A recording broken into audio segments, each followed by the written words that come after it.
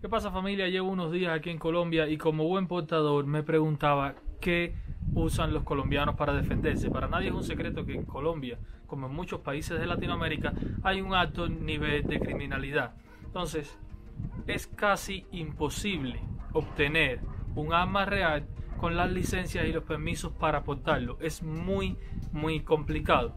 En cambio, ¿qué usan en Colombia? En Colombia se venden por motivos eh, deportivos un arma que le llaman pistolas traumáticas. ¿Qué es una pistola traumática? Bueno, es una pistola. En este caso es una copia de una Sig Sauer SP 2022 marca Leo GT 22 9 mm. Es una pistola regular, totalmente regular con su magazine y todo. Lo único que cambia es el proyectil. En este caso es una bala de 9 milímetros con pólvora, pero si se fijan, el proyectil es una pelotica de goma. ¿Qué tanto daño hace? Algunos dicen que penetra 2 eh, centímetros en la piel, otros dicen que penetran 5 centímetros en la piel. Vamos a probarla, vamos a ver qué tan confiable es y vamos a ver qué tanto daño hace. De antemano, le pido disculpas por el sonido, por la calidad del video, ya que no tengo ni cámaras ni micrófono, todo es totalmente improvisado. Empecemos por el arma. Como ya le dije, es una Leo GT22. Es una copia de una Sig Sauer SP 2022. La pistola se ve fuerte. El, como tal, el grip sí se ve un poco de baja calidad. Pero doble acción Aquí ven el martillo. Y el gatillo fue lo que me sorprendió para mal y para bien. El primer pull del gatillo, si el martillo no está atrás, o sea, como una pistola de doble acción, es súper, súper, súper heavy. No sé, son casi 8 libras, yo diría. Súper, súper, súper heavy. Sin embargo, cuando el martillo está atrás, el gatillo tiene un pequeño recorrido y dispara súper suave. Pero lo mejor de todo es el reset del gatillo. Como ven, el gatillo está hasta atrás. Reseteamos y ahí está el reset. Volvemos a disparar y ahí está el reset. Un reset muy, muy corto. Ojalá y la pistola tenga una confiabilidad para poderle sacar buena eh, para poder usar muy bien ese reset. Empecemos probando con algo fácil. Pistola traumática contra un melón.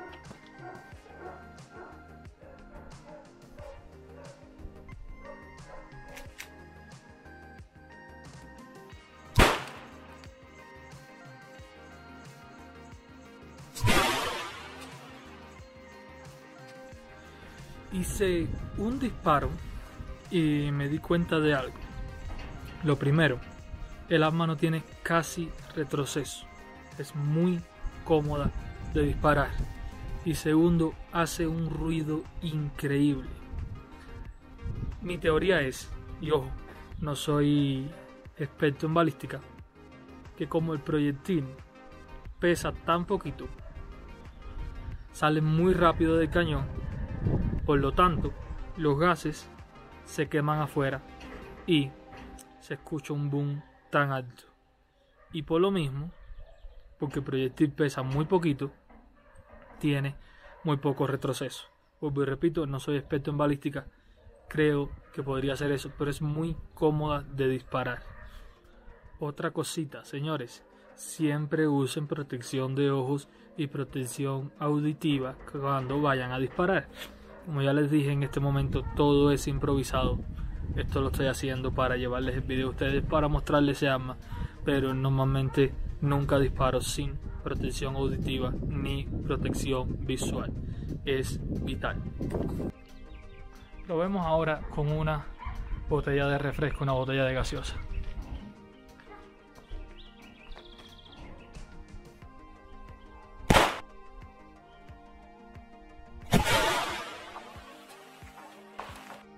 Antes de seguir, y como ya ven ahí ya tengo un cubo de agua preparado porque quiero ver si el proyectil se queda adentro. Ahora, quiero quiero comentarles algo. Estas pistolas, a falta de nada, son muy buenas para defenderse. Obviamente. ¿Qué pasa? Con sin las mismas restricciones que las compra un ciudadano regular, las compra un delincuente que anteriormente lo único que tenía era una cuchilla o un palo o lo que sea para intimidarte. Ahora, ¿cuál es el problema con esto? Un delincuente si no te quiere matar, la va a utilizar para intimidarte. Ahora, no te va a disparar porque no quiere matarte, pero te va a intimidar con ella ahora. Con este tipo de armas, como los delincuentes saben, en el 95 al 99% de las veces no vas a morir, pues ya no solo te intimidan, sino que también te disparan con ella. Y eh, te hacen daño, de hecho, estuve leyendo, incluso en la página de Facebook, un usuario comentó, un usuario que imagino que sea colombiano, que a varias personas que le han disparado en lugares sensibles, sí han muerto. Me imagino si te dan un tiro en un ojo, pues puedas morir. Eh, porque este tipo de proyectiles, si bien son de goma, tienen bastante potencia. Pistola traumática versus cubo de agua. Vamos a ver si podemos atrapar el proyectil.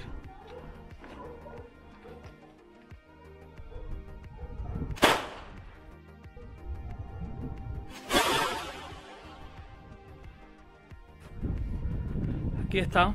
Al final sí quedó dentro del cubo de agua. Este es el proyectil de goma que disparan las pistolas traumáticas. La verdad es que es una goma bastante densa, bastante dura, incluso difícil de cortar con una cuchilla. Voy a hacer un último disparo a unos ladrillos para probar qué tan duro pega si puede romper los ladrillos. Porque la verdad es que no quiero seguir incomodando a los vecinos. Todo esto alrededor son fincas en una montaña. El sonido resuena todo la redonda y no quiero seguir incomodando a los vecinos. Así que un último disparo a unos ladrillos a ver qué tanto daño puede hacer una pistola traumática. Por último, pistola traumática versus ladrillos. Le voy a disparar inclinado porque no quiero que un ricochet regrese y me pegue a mí.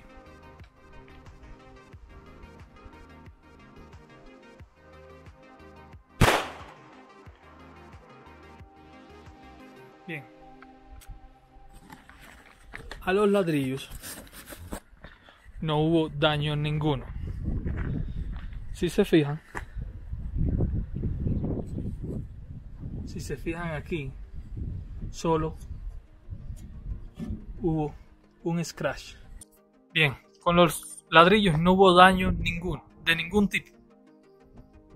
Entonces, el daño que pueda hacer una persona humana estaría por probar. Esperaba que al menos por la fuerza del impacto rompiera el ladrillo, ya que ni siquiera es un bloque de concreto, es un ladrillo regular. Esperaba que por la fuerza del impacto rompiera el ladrillo y no lo hizo. Pero, señores, a falta de nada para defenderte, estas pistolas son una buena opción. Si no tienes nada, son una buena opción. Me hubiera gustado disparar seguido, disparar más, pero como ya les dije, aquí hay finca alrededor. No quiero que estas personas piensen que llegó la guerra aquí. Entonces, como ya dije, a falta de nada, mejor una traumática.